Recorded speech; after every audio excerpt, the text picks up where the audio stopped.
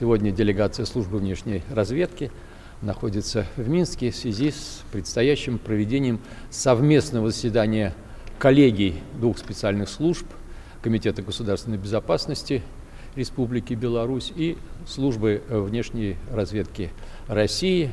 Э, мы планируем подвести итоги нашей совместной работы на протяжении последнего года и, конечно, э, договоримся о следующих наших шагах, направленных сказать, э, на достижение тех задач, которые руководство э, двух стран ставит перед специальными службами, а именно задач по э, выявлению и предупреждению всех внешних угроз нашим странам, нашим народам и союзному государству Республики Беларусь и Российской Федерации. Ну а сейчас прошла встреча с президентом Беларуси Александром Григорьевичем Лукашенко.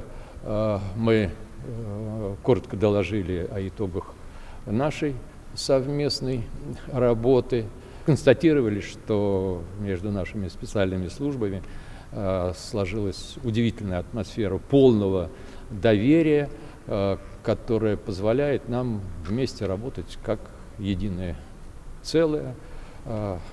Александр Григорьевич сделал там свой собственный анализ э, той ситуации, которая складывается э, вокруг э, наших двух стран, вокруг союзного государства, ну и в определенной степени поставил задачи. Ваша служба получает информацию о том, что Польша намерена восстановить свою империю и вернуть земли, которые они считают принадлежат им, которые сейчас находятся на Украине. А, как вы, а, но в последнее время таких сообщений стало меньше, и как вы считаете, свидетельствует ли это о том, что Польша отказалась от своих планов? Получение контроля над э, западными территориями современной Украины, над так называемыми бывшими восточными крестами Польши, является такой вожделенной мечтой польских националистов, и это становится уже элементом национальной идеологии, поэтому от этой идеи польское руководство уже а, отказаться не может польское руководство считает, что э, условием э, для реализации этой идеи является крах украинской государственности в результате военного поражения. И поэтому польская э, власть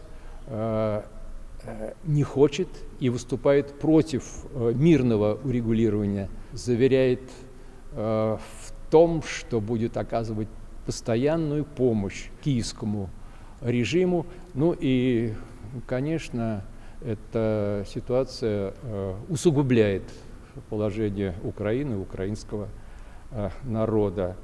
И я бы так сказал, что польское руководство в буквальном смысле ждет удачного момента, чтобы э, осуществить контроль над этими территориями, над э, бывшими восточными кресами.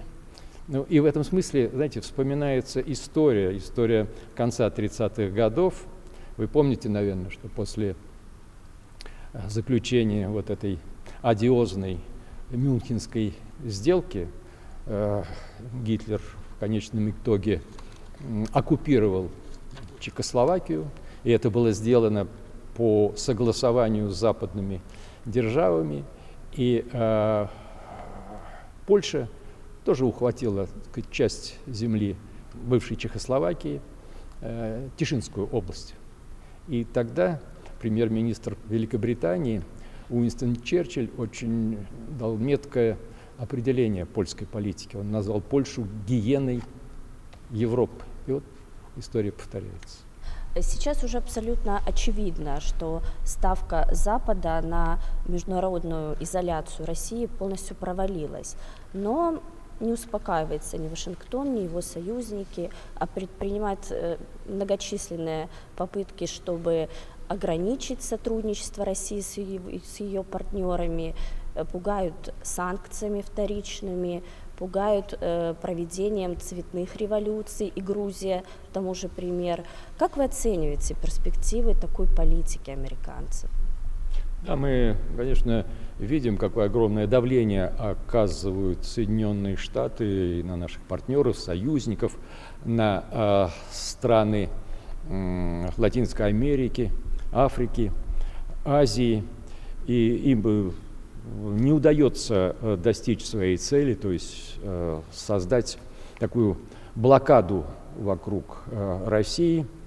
Я бы сказал, что это вот такие действия Соединенных Штатов являются грубым нарушением базовых, фундаментальных норм международного права, потому что такими действиями Вашингтон пытается довольно нагло вмешаться во внутренние дела суверенных международных э, государств при определении ими своей э, внутренней и внешней политики.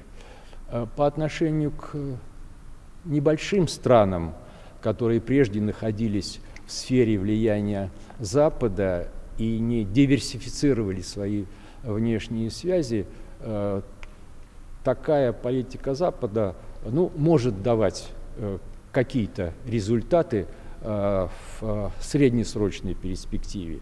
Но если говорить о э, государствах, э, имеющих такую стратегическую глубину, то такая политика Соединенных Штатов бесперспективна, а тем более она бесперспективна в отношении э, межгосударственных э, объединений, таких как союзное государство э, Белоруссии и России, э, Организация договора о коллективной безопасности, Евразийский экономический союз и другие. В разрезе того, о чем вы говорили с главой государства, и Александр Лукашенко тоже подчеркнул, что есть все-таки общие для нас вызовы и угрозы, что бы вы назвали главным или главными именно по отношению к союзному государству? Главное, как э, мне представляется, это стремление так называемой группы э, западных государств, тоталитарно-либеральных режимов э, э, Запада, поддержать свое